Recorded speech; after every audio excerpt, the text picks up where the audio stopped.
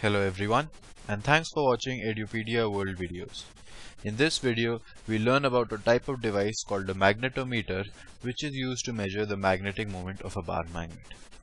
Before we do that we look at one small device which is called a dip circle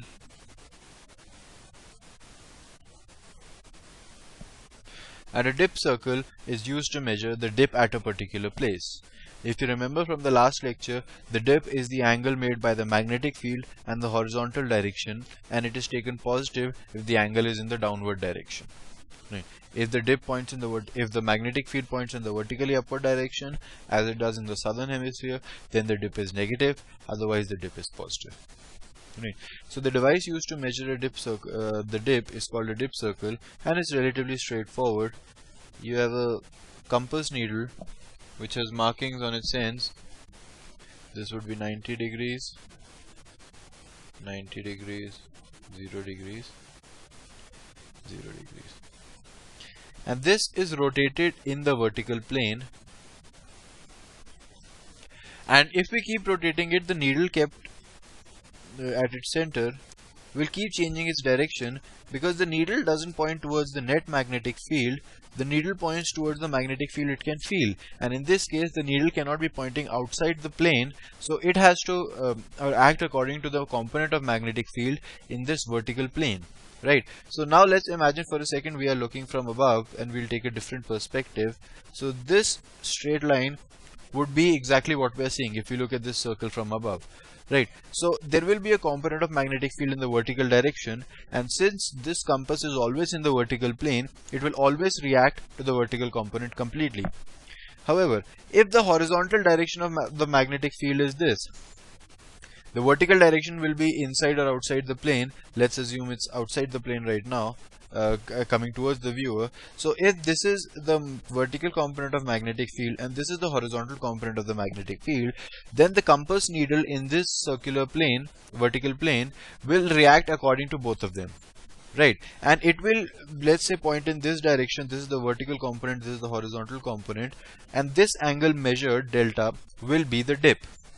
Right, so we'll be able to measure dip by tan delta is equal to BV by BH. Right, this would be the answer, but this would only be true if the horizontal magnetic field was in this direction. What is the what if the horizontal component of the magnetic field was in this direction, making an angle of 30 degrees? After all, all we know about this circle is that it is in the vertical plane. But in the vertical plane, this particular direction could be in the north-south direction or the east-west direction or any random direction. And it has nothing to do with the direction of the horizontal component of the magnetic field. So if BH is in this direction, then the uh, needle cannot react to the perpendicular component of this horizontal magnetic field. It can only react to this component which will be BS cos 30 degree, BH cos 30 degree. So in that case, tan delta will be BV by the horizontal component which it can react to which will be BH cos 30 degrees. But what we want is BV by BH because that is the actual dip. So what we can get from that is let's call this tan delta dash. So delta which will be the dip will actually be such that tan delta is equal to tan delta dash into cos 30 degrees. Right?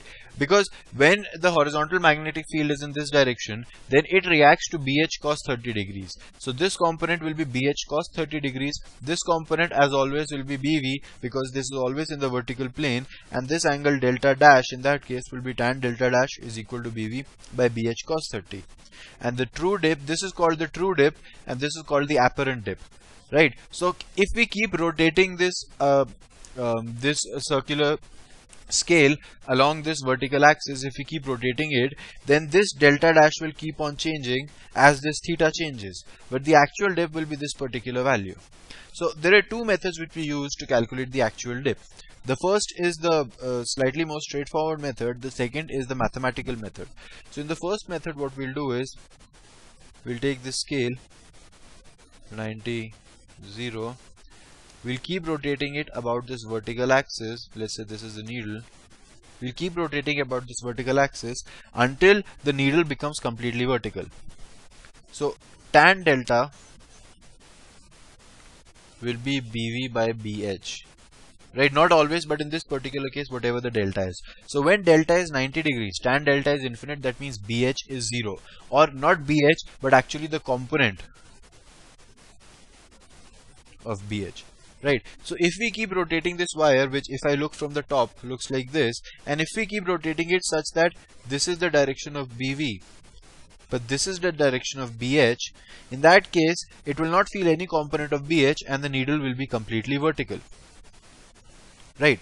So after that what we do is the first thing we keep rotating it until the needle is completely vertical once the needle is completely vertical we rotate it by 90 degrees in this direction. So once we see it to be vertical we just rotate it by 90 degrees and now it will be in this direction. It will react completely to the vertical component and completely to the horizontal component. And then whatever the dip is here whatever delta is tan delta in that case it will be bv by bh because now this plane is along BH. Earlier it was perpendicular, we shifted it by 90 degrees, along it is BH. So then this will give me the answer.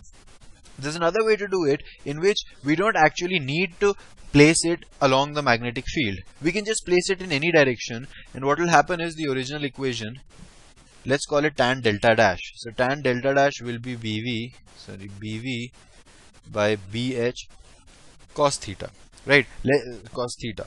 So let's say theta is the angle between this particular plane of this scale and BH. Right. What you do is turn it by 90 degrees again.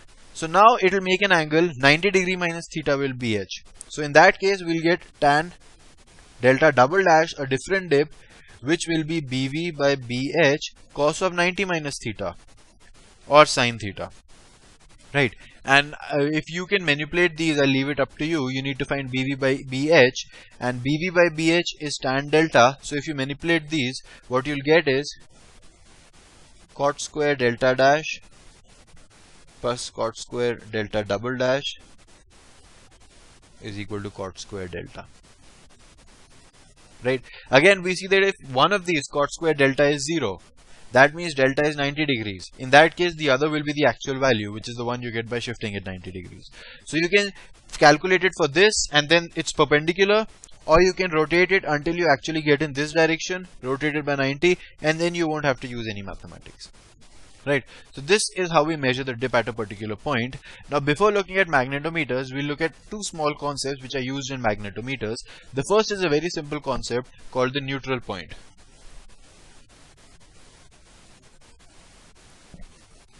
And we know that if a compass is placed in the horizontal plane, it will point towards the horizontal component of the magnetic field. If there is no external magnetic field present, it will point towards the horizontal component of the Earth's magnetic field. If there are other fields present, it will point towards the net magnetic field.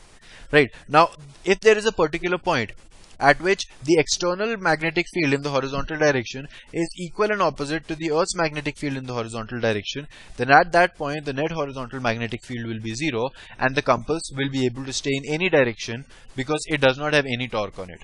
Those points are called neutral points. So neutral points are not points where magnetic field is zero net, it is the point where net horizontal magnetic field is zero. It can still be vertical right. The second component is also concept is also easy enough. It is called the tangent law of perpendicular fields.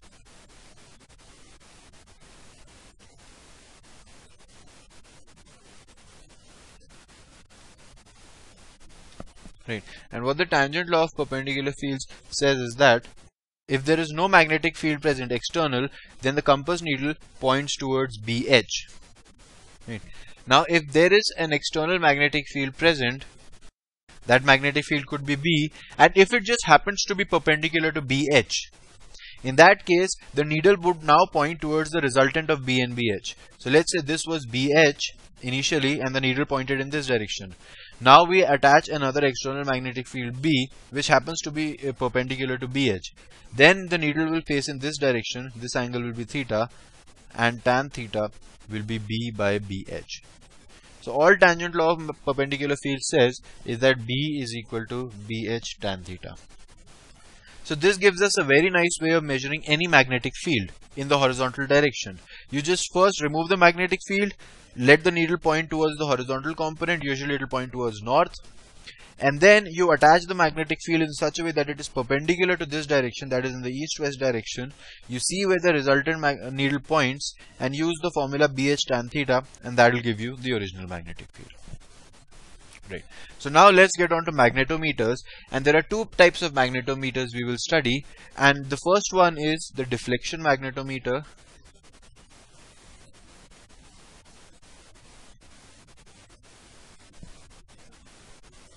and the second one is oscillation magnetometer. And the deflection magnetometer allows us to measure m by bh for any bar magnet. So if you give me any bar magnet using the deflection magnetometer I will be able to calculate the ratio of the magnetic moment of that bar magnet and the horizontal component of the earth's magnetic field then you have an oscillation magnetometer and that allows us to measure m multiplied by bh. So the magnetic moment multiplied by the horizontal component of the magnetic field. So if you wanted the magnetic moment of a bar magnet, all you would need to do is use the deflection magnetometer to get m by bh and the oscillation magnetometer to get m into bh. Right. And then once you know these two, you can calculate m and bh individually. So let's start with the oscillation magnetometer first.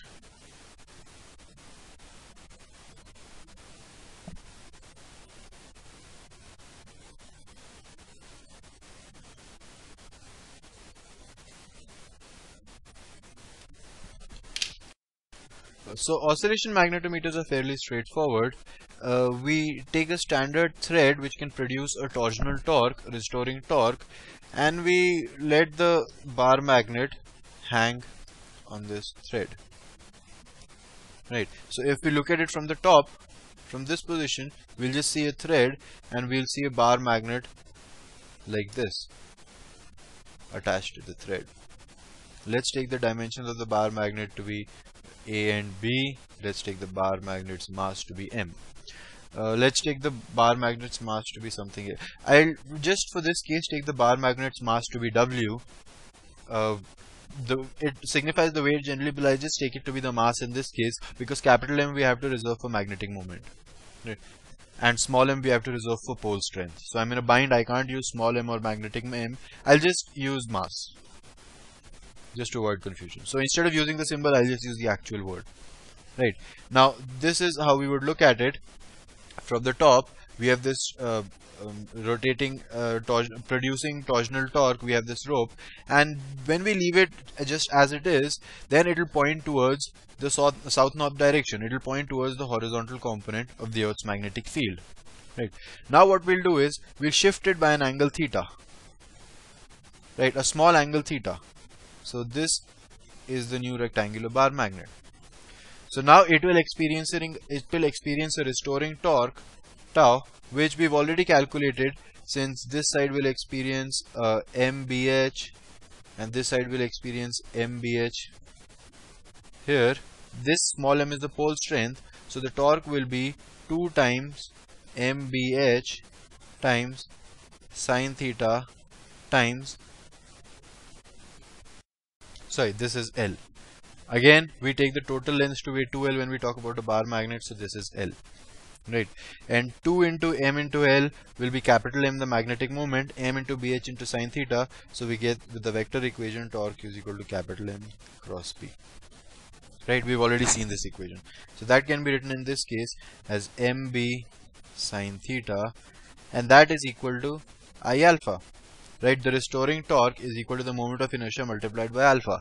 If theta is small then sine theta can be written to be equal to theta and there should be a minus sign because it's a restoring torque. From that we get alpha is equal to minus mb by i theta. So minus mb by i in an angular simple harmonic motion plays the rule of minus omega squared that means omega is root of m b by i. This b is bh by the way. The horizontal component of the magnetic field. So omega is root of mbh by i. From that we can get the time period. That is equal to 2 pi by omega or 2 pi root of i by mbh So now what we do is we just tilt it by theta. Generally we don't do it mechanically. We bring another magnet close to it and remove it and we start it into angular oscillations. And then we say measure the time taken for 20 or 30 oscillations divide by 20 or 30. We get the time period of each oscillation. So the time period is experimentally observed. We can measure it. I we already know. I in this case the moment of inertia. Since if we take it across this one it will be ma square by 12 mass into a square by 12 this will be mass into b square by 12 so by the perpendicular law moment of inertia this will be mass into a square plus b squared by 12 right? So this is the moment of inertia. We know the time period so we can directly calculate mbh mbh comes out to be 4 pi square i by t square where i is equal to this. So i is directly measured for a rect. This assumes that it is a rectangular bar magnet, right? So I assume it's a rectangular bar magnet. This is the moment of inertia. You measure the time period, and from an oscillation magnetometer, you can directly calculate the value of the magnetic moment of the magnetometer multiplied by BH. Now like I said for deflection magnetometer we can get M by BH and use it to calculate both M and BH but that is not what is generally done in practice. Generally we take a, mag a bar magnet of a particular known magnetic moment we measure the time period for that. Then we'll take a new bar magnet of an unknown magnetic moment. We'll measure the time period from that. And from those two we can actually compare the magnetic moments of any bar magnet. So knowing the magnetic moment of one particular bar magnet you can compare it to magnetic moments of other bar magnets. That is sort of like determining this whole proportionality constant. Right? So now we need to do deflection magnetometers uh, actually, I think this video is long enough and deflection magnetometers are quite a lengthy topic. So I'll do that in the second uh, video of magnetometers. Thank you.